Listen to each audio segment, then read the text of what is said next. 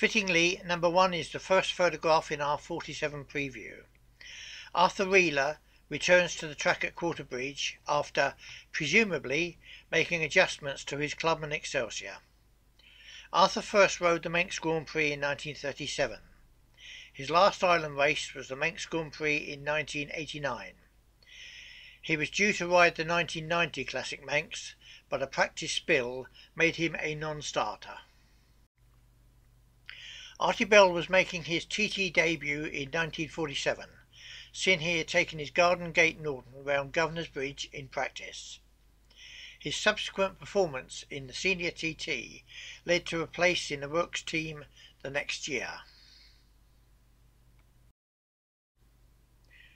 Jock West in evening practice on the AJS Porcupine at Union Mills. Ever wondered why the village was so named? The building on the right was both a corn mill and a woolen mill. The company was called the Flail and the Fleece United. Ben Drinkwater. He finished second in the 1946 Lightweight Manx Grand Prix, but died as a result of a crash in the 1949 Junior TT at the 11th milestone, which was called Drinkwaters for a number of years before reverting to its original name. A major disappointment to TT fans was Freddie Frith's practice crash on the 500 Moto Guzzi. The front brake torque arm broke as he approached Ballacrane, and he suffered a broken collarbone, ruling him out of the race for that year. In 1937, Freddie had been the first man to lap the TT course at 90 mile an hour.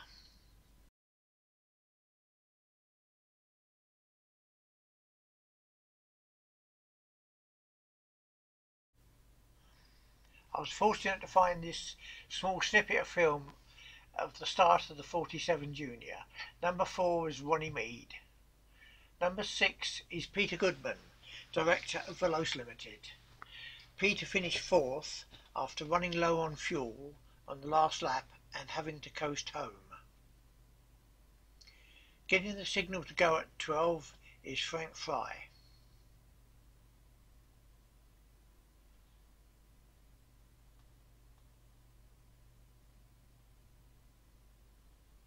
Number 14 is Ernie Lyons, who had won the 1946 Senior Manx Grand Prix in appalling conditions on his GP Triumph. He looks like he means business today. 23 is Roy Evans, getting a bit of a limpy start. He retired from the race. A high percentage of riders were mounted on pre-war machines. 34 is Les Higgins and 35 is Bill Webster. 41 is Bill Beevers, who combines solo and sidecar racing, swapping the engine from mount to mount. One of the few corners that doesn't look like it's changed in the last 70 years. Humphrey Waddington takes his KTT Velocette through Braddan Bridge. Dave Gregory takes his Norton through Calder Bridge. It was to be his only TT race and sadly he retired. Peter Goodman peers into an empty tank. He was 81 seconds slower on his last lap than third placed Jock Weddell, but only 54 seconds down at the finish. For sure he could have taken a leaderboard position but for that lack of fuel. He made up for it in the senior, though. Ken Bills conducts a post-race debriefing. He finished a lowly 21st. His third and sixth lap times were significantly slower than the rest. Lack of fuel, perhaps? In the beret is renowned Norton entrant tuner Francis Beart a bunch of likely lads. I wonder how many of their great great grandchildren are these days manning the scoreboard.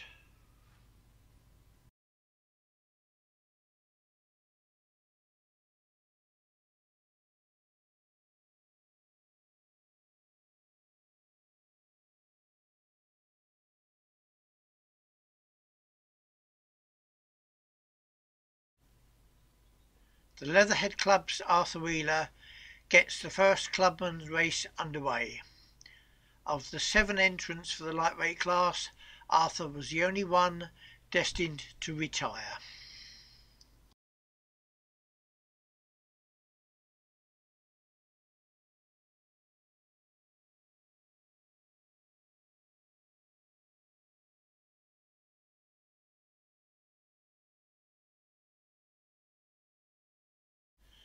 There was no age limits on machines for the clubman races, so Edgar Quine, not the former Manx politician, rode this 1938 Triumph Tiger 80 in the Clubman Junior. After a trouble-free practice, he was persuaded by a Triumph race technician to fit a 10 to 1 compression piston for the race. Not a good idea. It nipped up at Union Mills, again at Glen Helen, and finally expired on the mountain. With the fuel rated at just 80 octane, it was surprising he got that far. Five times Manx Grand Prix winner Dennis Parkinson only rode one TT, the 1947 Clubman Junior, and predictably he won it on his Inter Norton. Three of his Manx victories were pre-war. After retiring from racing in 53, he became a well-known commentator, particularly for the grandstand scrambles. Who remembers his favourite saying, the undulating straight? The outside curb in the Governor's Bridge dip held a magnetic fascination for clubman riders. Jack Terry, riding his Ariel for the King's Norton Club, drifted a tad wide with the expected consequences. The marshals were well on their way even before he'd stopped sliding. He remounted to retire at the pits at the end of the lap. In the 60s and 70s, Jack Terry was well known in sprinting circles. Wilf Slateholme Governors his third place AJS was alleged to be a comp shop special made exclusively for the clubman race. It was probably very similar to the machine Les Graham used to great effect at Cadwell Park and Shelsley Walsh. Wakefield's Dennis Parkinson must have known his way round the island blindfolded with doing so many laps pre and post war seen here at Governor's Bridge Dip on his way to winning the 47 Junior Clubman race.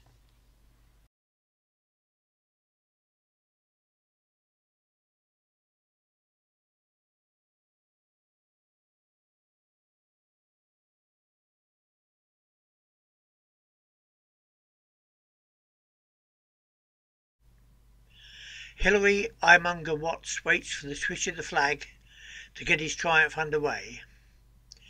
The scoreboard behind him shows that the lightweight runners and the earlier junior machines had passed Ballacrane.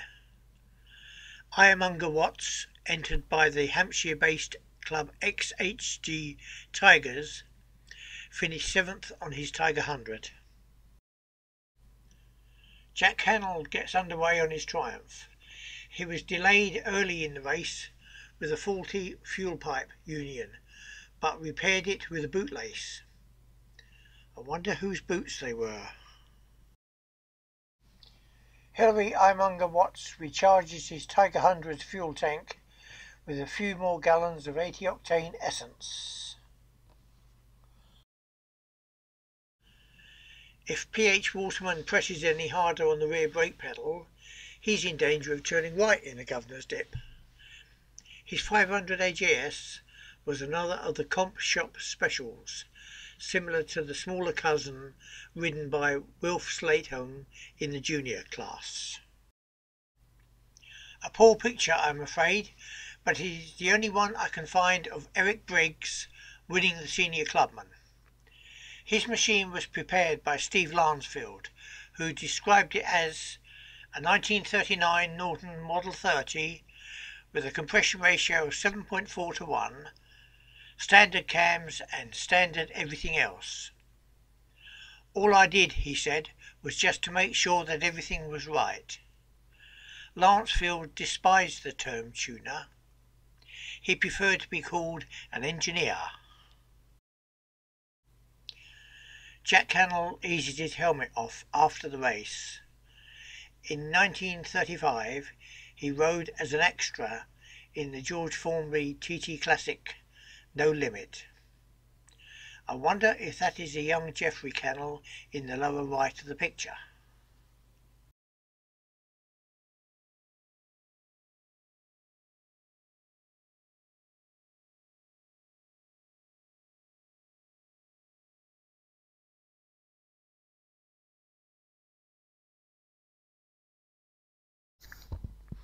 Irishman Manliff Barrington weighs in his lightweight Guzzi.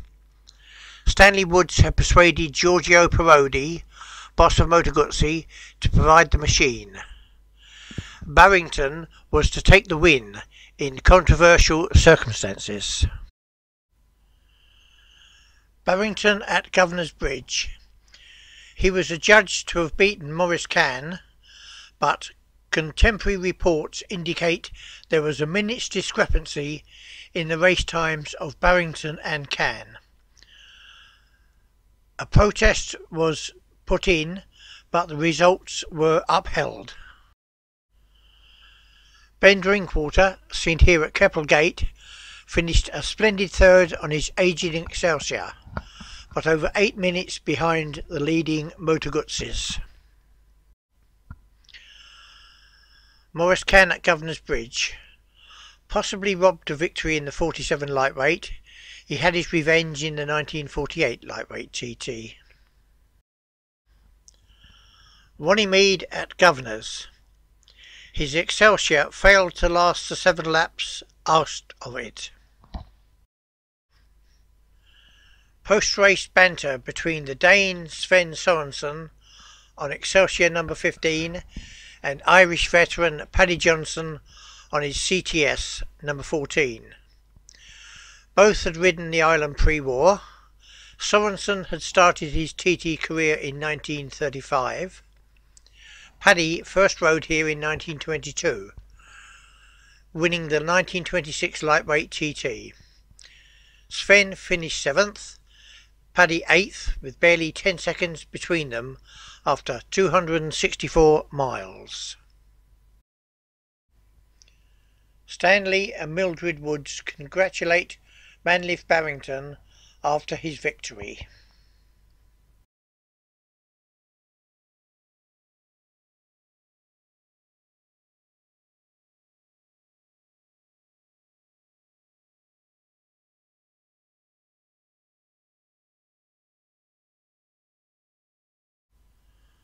One of the new post-war racing machines was the AJS E90, which will always be known as the Porcupine on account of its spiky fins.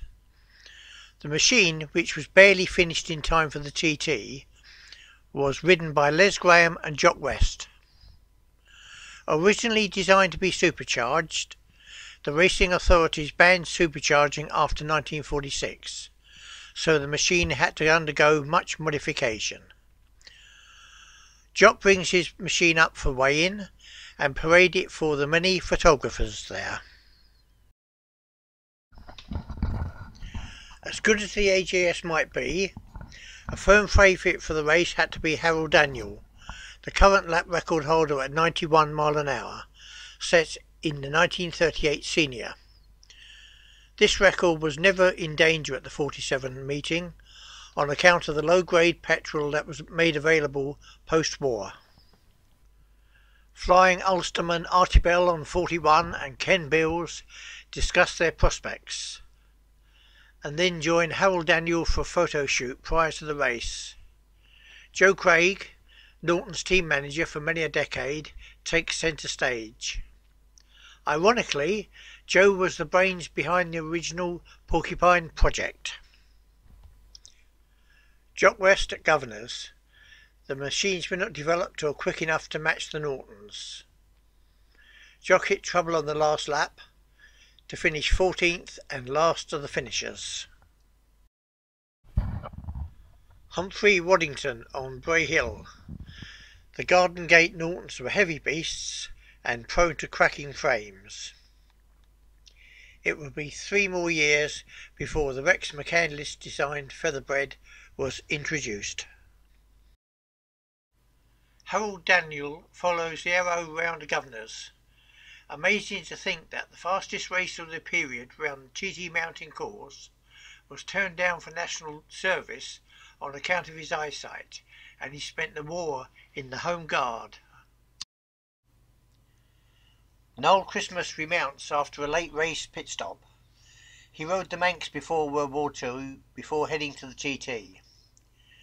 Despite what may have been a splash and dash at the end of the sixth lap, he still finished seventh. Mind you, there was only 14 finishers in this race.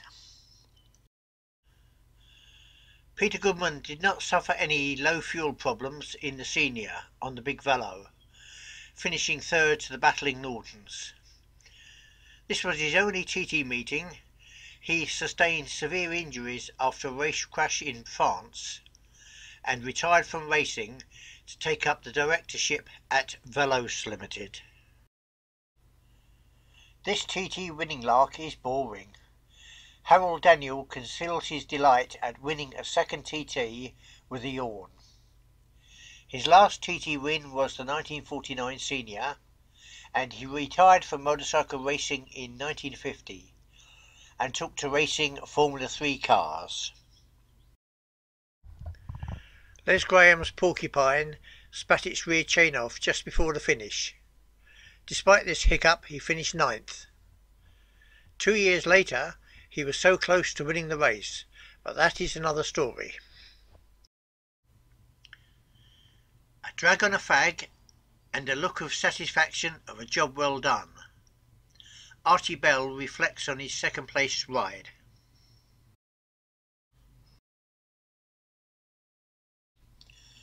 Peter Goodman, number 69, is congratulated by his starting partner, Ted Friend, on number 70.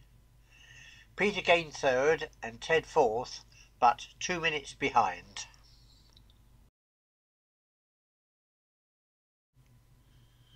The Norton team in celebratory mood. Winner Daniel on the bike, Artie Bell runner up, only Ken Bills retired. Standing behind Harold, in jacket and tie, is brother-in-law Steve Lancefield.